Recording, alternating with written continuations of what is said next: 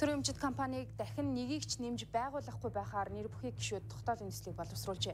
Хэрвээ энэ төсөл улсын хурлаар дэмжигдэн батлагдсан тохиолдолд давхар одоогоор төрийн өмчит компаниудын тайлан балансыг ил тод болгох, за зарим компанийн хувьцааг гарган олон нийтэд худалдаалах боломжийг бүрдүүлэх юм байна.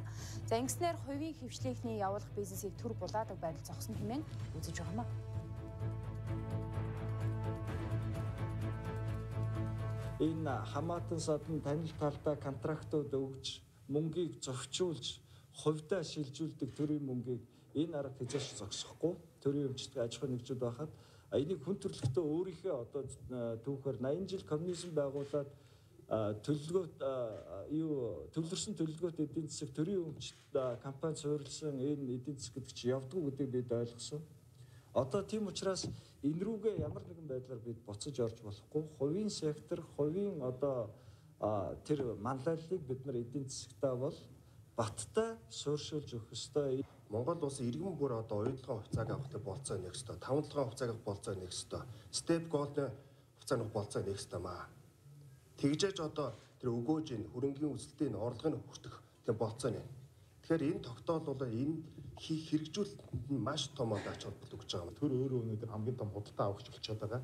Тэгээ хувийн хвшилтэйгээ өрсөлдөд ингээд явж байгаа. Тэгэхээр засаглалаа бид нэр зас зэгцэлэх энэ ажлын хажуугаар энийг бас хязгаарлах ёстой. А хоёрдугаар асуудал бол ил тод болгож олон нийтийн хяналтыг оруулах хэрэгтэй. Хувийн хвшил дээрээ түншлэж а төр маань өөрөө дэд бүтээц юм уу? За зайлшгүй хувийн хвшил дээрээ тэр томоохон хэмжээний юмн дээр нь туслах а тэр үйл ажиллагаа бүтээн байгуулалтын хувийн хвшлийнхэн өөрсдөө хийгээд явчих ийм болцоотойгоор жишээлбэл төр хувийн хвшлийн түншлэлийн хуулийн дээр нийтийн дэд бүтц буюу нийтийн хөгжлийн төвгээд маш чухал тийм бүлэг хүртэл орж ирж байгаа. Тэгэхээр бид бол хувийн хвшлээ амжилттай сайн дэмжижээж Монгол улс бол хөгжнө гэсэн байр суурийг барьж байгаа гэдгийг бас товчгоо хэлчихье гэж бодож байна. Төрийн өмчит аж ахуйн нэгжүүд болон төсөв нийлээд дотоодын нийт бүтээгдэхүүний 60%-ийг эзэлдэг.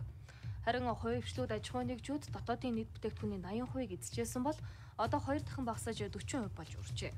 Эдийн засагт төрийн өмч давмгайлах нь ямар хор уршигтайг хөгжлийн баг нэзээлийн хэрэг тод харуулж байна.